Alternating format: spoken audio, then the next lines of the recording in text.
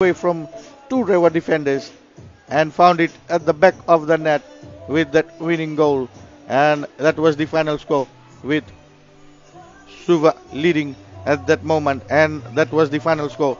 Suva won and Rewa nil in this first match. So the next match coming up will be between Nav